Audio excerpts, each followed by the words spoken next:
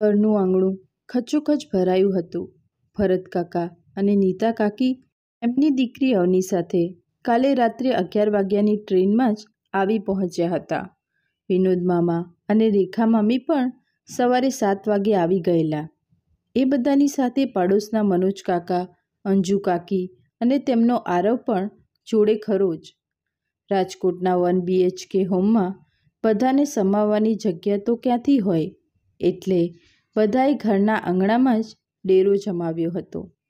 એક અગત્યનો નિર્ણય કેટલા સમયથી મુલતવી રાખેલો હતો એને આજે કોઈપણ હિસાબે અંતિમ ઓપ આપીને ઠપ્પો લગાઈ જ દેવાનો હતો. બધાનું એક જ કહેવું હતું અંજલિ અને નીરવને હવે વધુ ઢીલ દેવામાં જોખમ છે. બહુ મનમાની ચલાવી અત્યાર સુધી, આજે તો ફેસલો કરીને જ જવાના. દોઢ વર્ષ પહેલાં અંજલિના પતિ આકાશનું કાર એક્સિડન્ટમાં મૃત્યુ થયું હતું. ઘરમાં ફક્ત ચાર વ્યક્તિઓ હતા અંજલિ, આકાશ, એમની ચાર વર્ષની દીકરી નીતિ અને આકાશનો ભાઈ નીરવ. અંજલિ અને આકાશ બેમાંથી કોઈના પણ માતા-પિતા હયાત હતા નહીં એટલે આકાશના મૃત્યુ બાદ પરિવારમાં ત્રણ જણા જ રહ્યા હતા. અંજલિને કોઈ ભાઈ-બહેન પણ હતા નહીં. અલબત્ત અંજલિના મામા-મામી અને આકાશના કાકા-કાકી એમની ખબર રાખતા અને વાર તહેવારે મળતા રહેતા. આકાશના મૃત્યુ પછી અંજલિએ ફાર્મસીની દુકાન સંભાળી લીધી હતી. નીરવ પણ પોતાના ક્ષેત્રમાં ધીરે ધીરે કાઠું કાઢી રહ્યો હતો. નીતિ પણ એનું બાળપણ માણી રહી હતી. પરિવાર ધીરે ધીરે બહાર આવી રહ્યો હતો. આકાશની કમી તો હતી અને રહેવાની હતી. છેલ્લા આઠ નવ મહિનાથી આ સગા અંજલિની પાછળ પડેલા. નીરવ સાથે મેરેજ કરી લે. તારી ઉંમરનો જ તો છે. તમને બંનેને કેટલું ફાવે પણ છે. અમે શંકા નથી કરતા, પરંતુ તમારો મનમેળ ઘણો સરસ છે. નીતિની તો વિચાર, એને બાપનો પ્રેમ બીજું કોણ સારી રીતે આપી શકશે અને તું આ પહાડ જેટલી જિંદગી તું કેવી રીતે કાઢીશ? આવનાર દરેક વ્યક્તિની વાતનો સૂર કંઈક આવો જ રહેતો. પણ અંજલિ અને નીરવની તો ના જ રહેતી. બધા સગાએ વારાફરતી બંનેને સમજાવવાનો પ્રયત્ન કરી જોયો હતો પણ બેમાંથી એકે ટસનું મસ નહોતું થતું અને એટલે જ બધા સગાએ સંપ કરી આજની મિટિંગ ગોઠવી દીધેલી. અંજલિ બધા માટે ટ્રેમાં ચા લઈને આવી. નીરવ પણ બેઠો હતો. ભરત કાકા બોલ્યા, નીરવ બેટા, શું કરે છે તું? નીતિ તારી દીકરી નથી? એ શાળાએ જશે, ત્યારે કોની આંગળી પકડીને જશે? જીવનમાં ડગલે એને પગલે, જ્યારે એને પપ્પાની જરૂર પડશે, ત્યારે એની પાસે કોણ હશે? નીરવ બોલ્યો, નીતિ મારી દીકરી છે અને રહેશે. આકાશભાઈના ગયા પછી ભાભી અને નીતિ પ્રત્યે મારી ફરજ ઘણી વધી ગઈ છે એ મને સુપેરે સમજાય છે. નીતા કાકી બોલ્યા, પણ દીકરા એક કાકા તરીકે તું ફરજ નિભાવે અને બાપ તરીકે એમાં આસમાન જમીનનો ફેર પડી જશે. કાલ ઊઠીને તારી વહુ આવશે તો એ તને તારું ધાર્યું બધું નહીં પણ કરવા દે ત્યારે તું શું કરીશ? વિનોદ મામા બોલ્યા, અંજલિ, તું ચા સાઈડ પર મૂક અમે બધા લઈ લઈશું. તું અહીં બેસ દીકરી. આકાશ માટેની તારી લાગણી અમને સમજાય છે પણ જીવનમાં તને જીવનસાથી તો જોઈશે. આકાશની યાદો એ કમી નહીં પૂરી કરી શકે. રેખા મામી બોલ્યા, દીકરી અંજલિ, તને તો ખુદને ખબર છે ને કે બાપ વિનાનું જીવન કેવું હોય? તું સોળ વર્ષની હશે, ત્યારે જયેશકુમાર આ દુનિયા છોડી ગયા. તે તો તારી માને જોઈ છે ને, પતિ વિનાનું એમનું જીવન અને બાપ વિનાનું તારું જીવન કેવું હોય એ તો તારી નજર સમક્ષ છે. તને નથી લાગતું કે તારી મમ્મીએ પણ જો બીજા લગ્ન કર્યા હોત તો જીવનસાથીની હૂંફને લીધે હજી વધુ જીવી શક્યા હોત? એ આજે જીવિત હોત તો એમને પણ આ જ ઈચ્છા હોત. તો મનોજ કાકા બોલ્યા, નીરવ અને અંજલિ, આજુબાજુમાં શું વાતો થઈ રહી છે એ ખબર છે ને?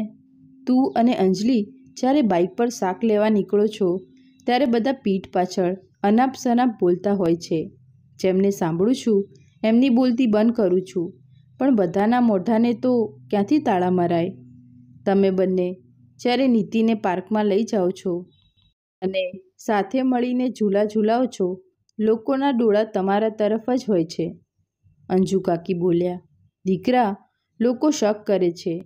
નીતિ મોટી થશે અને સાંભળશે તો એને કેવું લાગશે? એનું કુમળું મન આ બધું સહન કરી શકશે? એની મનોસ્થિતિ કેવી બનશે? અને શું ખોટું છે લગ્ન કરી લેવામાં?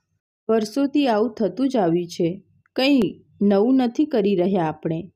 હા, શરૂઆતમાં થોડું અજુગતું લાગશે, પણ પછી તો તમે ગોઠવાઈ જશો. ખબરે નહીં પડે. મન થોડું કાઠું કરીને આ નિર્ણય લઈ લો. અમને તો આમાં કશું ખોટું નથી લાગતું. તો આરવ બોલ્યો નીરવભાઈ, હું તમારી જગ્યાએ હોત તો પરિવારની ભલાઈ માટે મેં આવો નિર્ણય લઈ લીધો હોત. અંજલિ નીરવ સામે જોઈ રહી હતી. બેવની આંખો એકબીજાને કશું કહી રહી હતી. અંજલિએ ઇશારો કર્યો અને નીરવ સમજી ગયો. સારું, અમે બંને એકલામાં વાતો કરવા માંગીએ છીએ. અમને અડધો કલાક આપશો? બધાએ સર્વસંમતિમાં ડોકું ધૂણાવ્યું. અંજલિ અને નીરવ ઘરમાં ગયા. આશાભરી આંખે બધા રાહ જોવા માંડ્યા. આખરે આ છોકરાઓ એકબીજા સાથે વાતચીત કરવા સંમત થયા હતા. અડધો કલાકને બદલે તેઓ વીસ જ મિનિટમાં આવી ગયા. પણ આંસુ નીરવના મોં પર લાલ ટપકું અને હાથમાં રાખડી બધાનું ચોંકી જવું સ્વાભાવિક હતું. દરેક જણ આ બધું શું થઈ ગયું એ શોખ પચાવવાની કોશિશ કરી રહ્યો હતો. એટલામાં નીરવ બોલ્યો, તમે બધા નવા સંબંધની વાત કરો છો, પરંતુ પહેલાંથી અમારા મનમાં જે સંબંધ બંધાઈ ગયો છે એનું શું? ભાભી આવ્યા, ત્યારે મમ્મી ઘરમાં હતી, પણ મમ્મીના ગયા પછી મારી ભાભી મારી મા બની ગયા છે.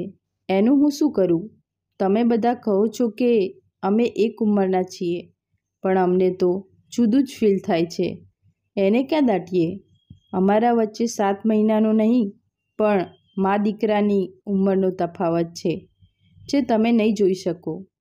તો અંજલિ બોલી, મારા માટે નીરવ મારો પ્રેમાળ ભાઈ છે વાલસોયો દીકરો છે, નટખટ દિયર છે અને હા, ફ્રેન્ડ પણ છે. પણ જે સંબંધની તમે વાત કરો છો, એ તો છે જ નહીં, કરવું નથી અને જરૂર પણ નથી. હું એમ નથી કહેતી કે કોઈ પણ ભાભી દિયરે આવું ન કરવું જોઈએ. પણ અમારા સંબંધોના સમીકરણ જુદા છે. એને જ્યારે પણ જોઉં છું, તો મારું હૈયું માના પ્રેમથી છલકાય છે. એની અવગણના તો કેવી રીતે કરું? આકાશ હતો ત્યારે હું નીરવની મા હતી. હવે તો મારે નીરવના બાપ પણ બનવાનું છે. એના લગ્ન લેવાના છે. બહુ બહાર ફરે છે. હવે તો ઘરમાં પૂરવો જ છે.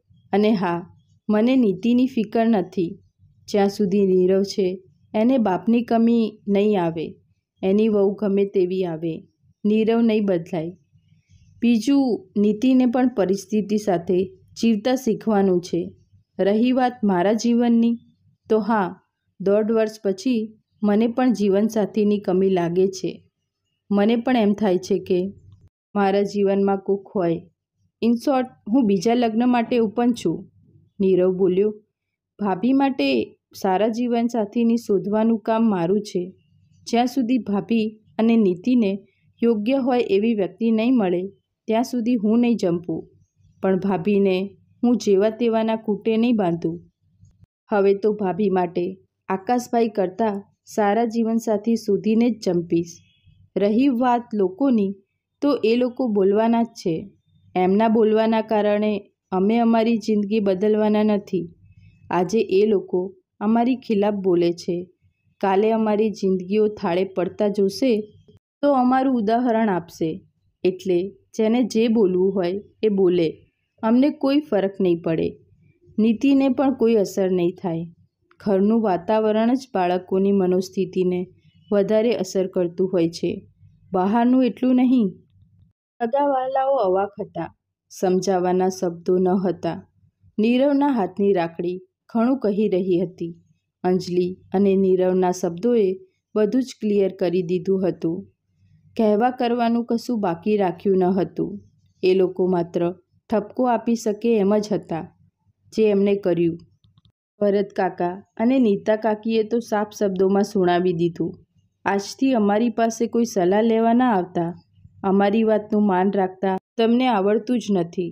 મનોજ કાકા પણ કહેતા ગયા, મનમાની જ કરવી હોય તો. અમારું કોઈ કામ નથી. લોકોને મોઢે. હવે અમે તાળા નહીં મારીએ. મામા મમ્મીને ખોટું લાગ્યું છતાં બોલ્યા, અંજલિ, જેવી તારી મરજી. તું માની ગઈ હોત તો સારું હતું. આજે જે થયું એ ખરેખર ખોટું થયું છે. તારી માનો આત્મા દુઃખી થયો હશે. નીરવ અને અંજલિ હાથ જોડીને ઊભા હતા. મોઢા પર બધાને નિરાશ કર્યાના ભાવ હતા, પરંતુ બોડી લેંગ્વેજથી સાચું કર્યાની પ્રતીતિ થતી હતી. વાતને ત્રણ કે ચાર મહિનાના વહાણ વાયા હતા. બધાના ઘરે એક કંકોત્રી આવી હતી. ભાઈ બહેન એક જ માંડવામાં પરણી રહ્યા હતા. અંજલિના લગ્ન, એક પુત્રીના પિતા એવા ડૉક્ટર કાર્તિક સાથે અને નીરવના લગ્ન, એમની જ જ્ઞાતિની છોકરી નંદિની સાથે સંપન્ન થયા. નંદિની અને નીરવે જ ભાઈ ભાભી બની અંજલિનું કન્યાદાન કર્યું. વિદાય વેળાએ નંદનીએ અંજલિને કહ્યું હતું, દીદી, આજથી આ ઘર તમારું પિયર છે. આ ઘરના દરવાજા તમારા માટે ખુલ્લા જ છે. કાર્તિકે પણ નીરવને સાંત્વના આપી હતી. હું પૂરેપૂરી ઈમાનદારીથી કોશિશ કરીશ કે અંજલિ અને નીતિને કોઈ વાતે ઓછું નહીં આવે.